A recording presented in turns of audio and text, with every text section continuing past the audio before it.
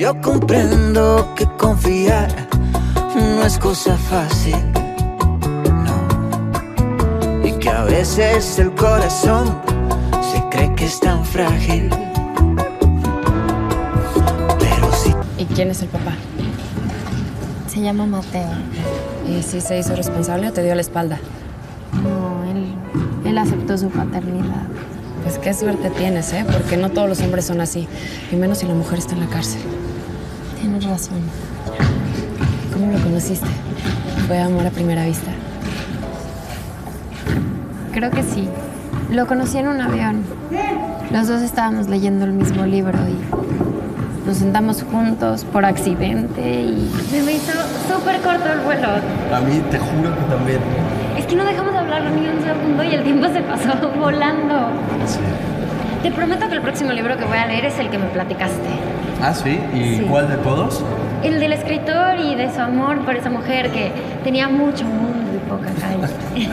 Que pertenecían a mundos distintos, pero el amor venció todos los obstáculos. Justo eso. Seguro me va a encantar porque soy una romántica loca por los finales donde triunfa el amor. ¿Y qué? ¿Pensaste que no lo ibas a volver a ver? Exacto. ¿Y cuándo te besó por primera vez? Bueno, él dice que yo lo besé primero. Yo no me acuerdo, yo estaba medio inconsciente porque él me acababa de rescatar de ahogarme de un río y me llevó a su cabaña, me cuidó y estar, estar con él es lo más bonito que sentido en toda mi vida.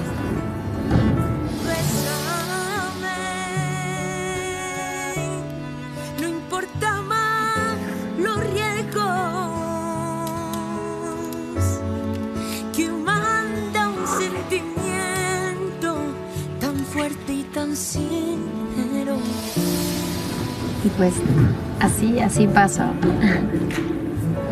Qué maravilla vivir un amor así. ¿Me das tres de chicharrón, por favor? Sí, claro.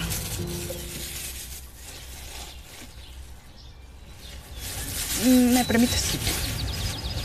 Hola, Mateo. Hola, ¿Quieres Fabi. que te sirva unos taquitos? Eh, no, no, gracias. No, no tengo hambre. A la siguiente. Mateo, ¿no tienes hambre o más bien no quieres nada conmigo? Yo sé que tienes motivos para estar enojado conmigo, pero ya te dije que estoy arrepentida y quiero cambiar. Sí, sí, está bien, Fabi. Me alegro mucho por ti. Creo que estás haciendo lo correcto. Y tu familia va a estar muy contenta. Pero eso no significa que se me haya olvidado todo lo que ha pasado.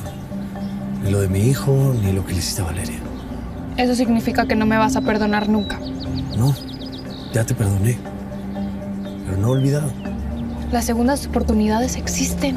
Mira, Fabiola, de verdad, estoy muy, muy, muy contento de que estés mejorando y creo que lo estás haciendo bien. Pero de momento creo que es mejor que, que tomemos distancia. Sí, nos vemos.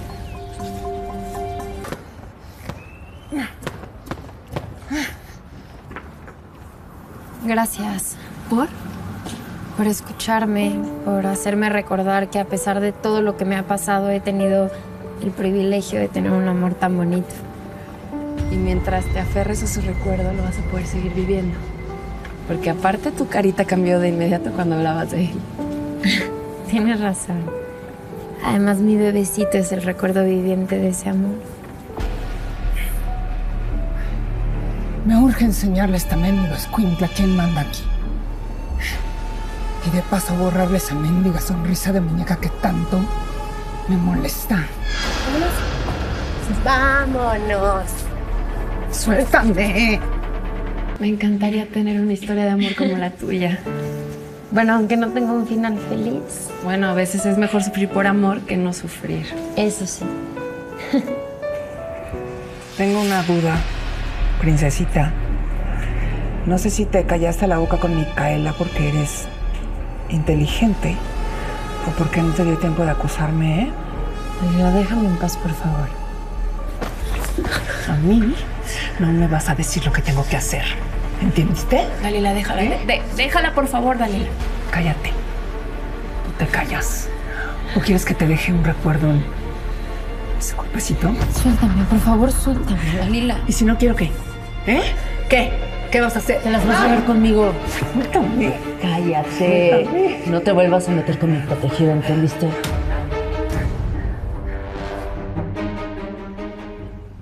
Mateo.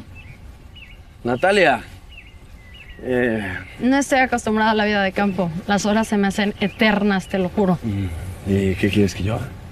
No sé. Quizás invitarme una copa en San Carlos. No sé si el sueldo de un administrador alcance para los lugares a los que tú estás acostumbrada. Ah, ¿y tú cómo sabes a los lugares que yo estoy acostumbrada? Porque me lo dijo Rodrigo. Las paso negras pagando la cuenta del restaurante que tú elegiste. Pues no sé si sepas, pero Rodrigo y yo somos amigos y pues nos contamos todo. Pues qué acomplejado, pero si es cuestión de dinero yo invito, de verdad. No, gracias. Con permiso. Ah, eh, es que yo sí, yo sí disfruto de la vida de campo.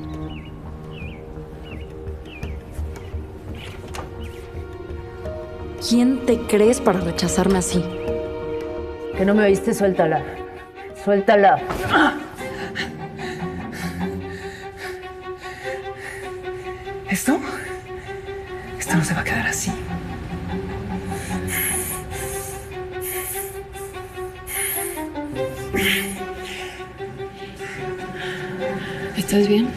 No, no, muchas gracias.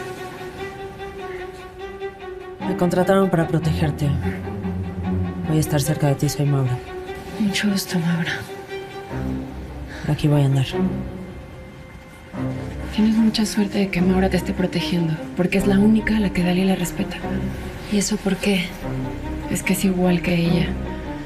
Maura asesinó a su marido a sangre fría.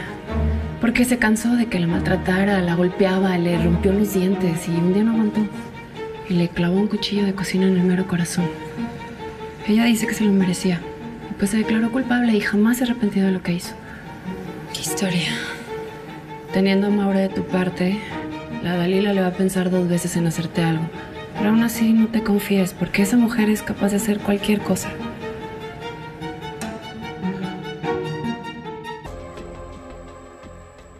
Gracias por Maura. No sabes la paz que me da tenerla cerca. De eso se trata. No queremos que nadie te vaya a lastimar. Hoy mi compañera de celda me puso una cuerda en el cuello. Me estaba ahorcando. ¿La denunciaste? No, no puedo hacer eso aquí. Me le echaría encima y a pesar de tener a Maura, ella es mi compañera de celda. Voy a solicitar que te cambien de celda o que te den una para ti sola. ¿Eso se puede? Mira, no pierdo nada con intentarlo. Pues ojalá y se pueda. Y por favor, ni una palabra a nadie de Dalila, de mi compañera. Mucho menos a mis papás. A nadie. No quiero preocuparlos más de lo que ya están. No te preocupes, no voy a decir nada. Mañana viene Ernesto a visitarte. Y espero que para cuando él venga, pues ya sepamos algo de la apelación para reducir tu sentencia. Ojalá.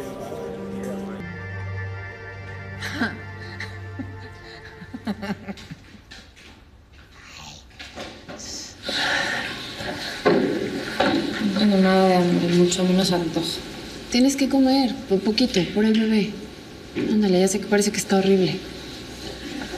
Maura, la directora quiere hablar contigo. Te está esperando en su oficina. ¿Sabes para qué? No. Ahorita que acabe de comer voy. Vas ahorita. Ahorita. Está bien, ya voy. Ahorita nos vamos.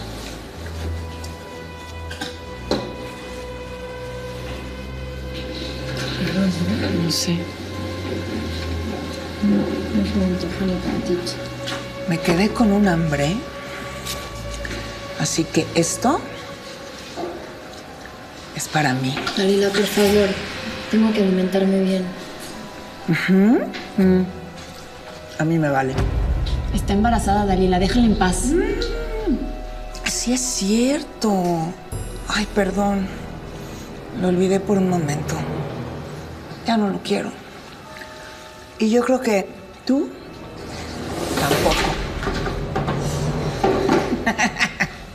perdón, perdón. Creo que bebé tampoco va a comer hoy. Voy por postre.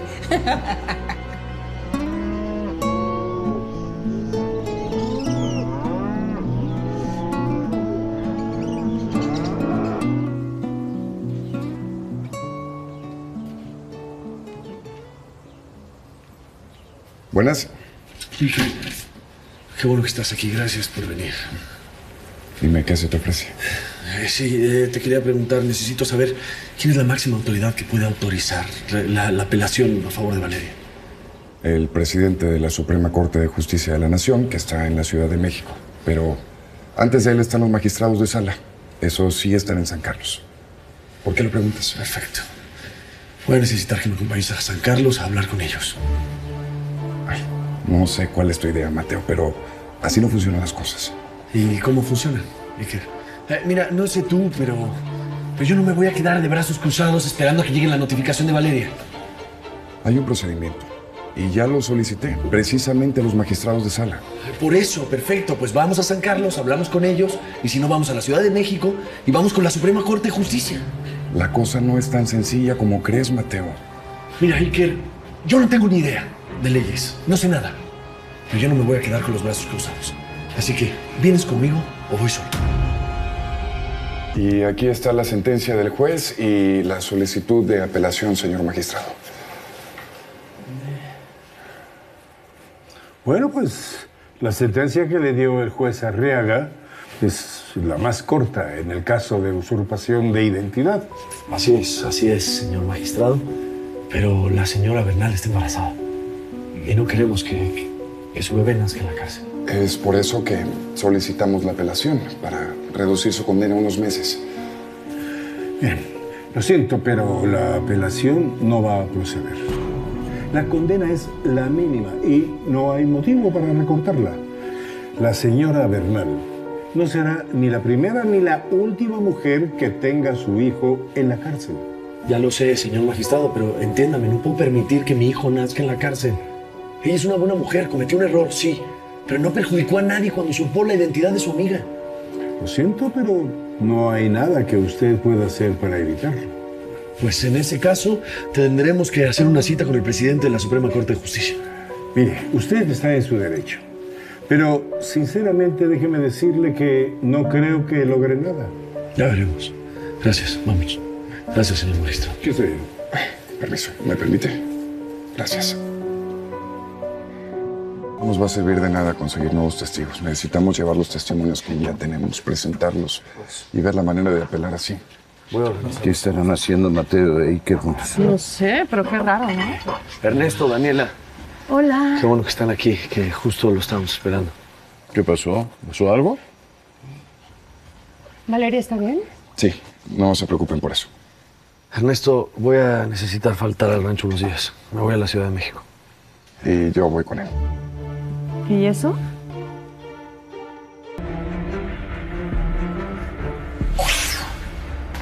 Ahí. Está bien que me tengas miedo, pero de plano para ponerte pálida. Estoy mareada. No me digas. Ay, pobrecita. Y se te vaya a ocurrir ponerte a volver el estómago porque no quiero que me apestes la celda, ¿eh? ¿Ves? Qué bueno que te quedaste sin comer, si no, imagínate qué asco. Ya se me está pasando. ¿Ah, de veras? Ay, qué bueno. ¡Muévete! Porque quiero que antes de que apaguen la luz, me ordenes todas mis cosas y las sacudas, ¿cómo ves? ¿Eh? ¿Eh? ¿Lo oíste? Que No, si ya te oí. Dalila. No tienes que hacer lo que te está diciendo. Y Valeria, acuéstate. Traes muy mala cara. Yo mientras voy a estar aquí vigilando.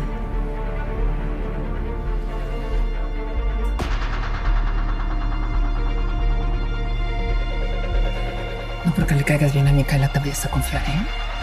Más te vale que hagas lo que yo digo o la próxima vez vas a dormir en el piso con tus amigos los ratones.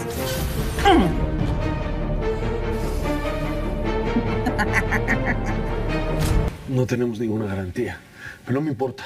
Yo voy a ir a hablar con el presidente de la Suprema Corte de Justicia en México hasta que acepte mi apelación. Me agrada. Me gusta que luches de esa manera. Que no te conformes con haber ido a ver al magistrado en San Carlos, sino que lleves el caso hasta la máxima autoridad.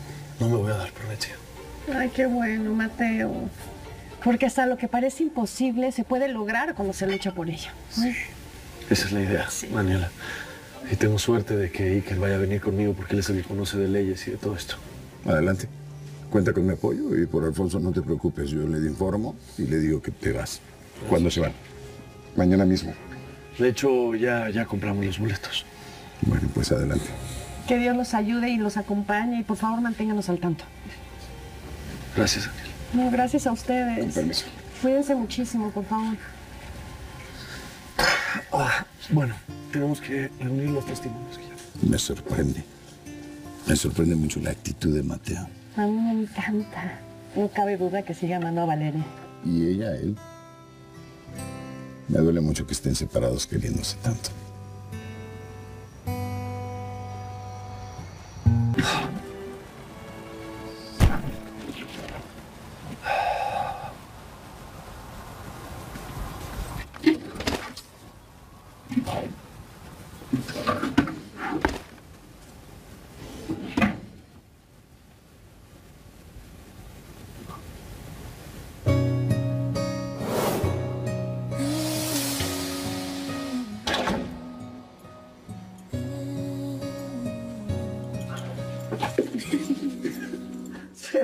Así.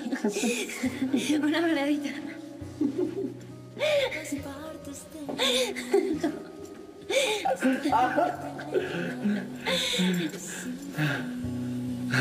Hola. Hola. Hola.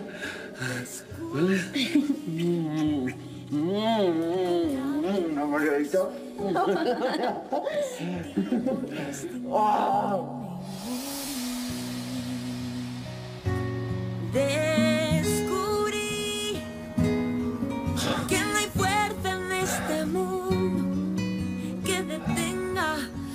siento por ti. Descubrí que caer ante mis dudas sería grave y no me pienso rendir. Tal vez sea una locura ir a buscar a ese magistrado, pero tengo que intentarlo.